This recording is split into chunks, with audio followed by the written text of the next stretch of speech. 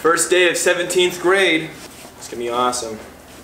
Got my man purse saddlebag thing, Bob. Because that's what professionals do. They wear, they carry these things.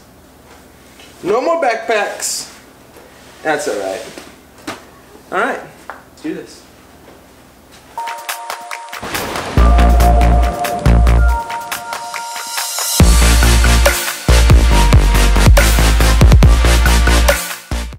Have you ever felt like you don't have enough time, like, have you ever had one of those weeks where I felt like I aged 20 years, but I also needed 10 extra hours every day? I don't know how that works, but that's what happened. First week of medical school, yeah, hit me like a ton of bricks, let's just be honest. Every day is slowly becoming more clear about how much work this is gonna be. I gotta step up my game if I'm gonna be able to do this. Lectures and labs. In the morning we have lectures, in the afternoons we have labs. We're going over anatomy, we're going over histology, which is like cells and tissues. And we're also going over uh, ethics, things like that. Pretty cool actually, some of the things we're learning. About eight hours a day we have labs or lectures. And then the rest of the day we're study. That's what we have to do. And that's what I need to keep doing. Like we have our first test is next week. It goes pretty quick. But something cool that we're doing is that we have our dissection labs. So our musculo musculoskeletal section involves dissecting the back muscles. Here's just a pretty typical dissecting kit. We have scalpels, forceps, scissors, things like that to help us be able to, you know, get through the muscles, get through the skin. Uh, also, if you're curious, it can also work on peppers and, you know, cook them up. So anyway, we're going through the back muscles and to help you visualize this, here is me. And you know, hey, if you get the lighting just right, it makes you look like you have good muscles. Don't be fooled. There's more flat back there than muscle, let me tell you. We started by reflecting back the skin, and we're dissecting the superficial muscles. These are the trapezius, latissimus dorsi down here. And below those we have the rhomboid major and minor and the levator scapula. And all these muscles kind of act on the scapula to like rotate it, elevate it. And below those we have some more muscles that help you know keep keep your spine erect, help you turn your head, things like that. And it's been pretty cool actually, to be able to go through the muscles and be able to learn them, learn their innervations, see veins and arteries poke through them. But yeah, so like I said, our first test on all this stuff is next week. They go full throttle in med school, let me tell you. Whew. Anatomy, dissecting, really cool. Uh, some other cool things that we learned this week. One is called the triangle of auscultation.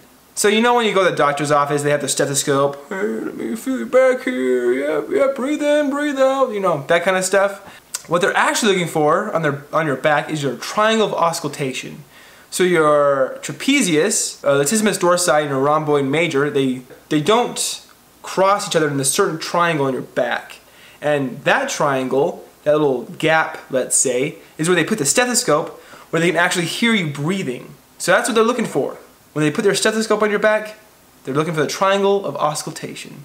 Bet you didn't know that. I didn't know that, so now we both know. Another cool thing that we learned that I thought was cool is called a referral pain. Imagine your guts, you know, you have your heart, lungs, um, stomach, intestines. These are your viscera. And these are innervated by your visceral nerves, you know, who'd have thunk. But the pain you feel from these kind of areas, your organs, is really general, kind of not localized, kind of like a, you know, tummy ache kind of feel and your skin, your muscles, your limbs, they're innervated, innervated by your somatic system.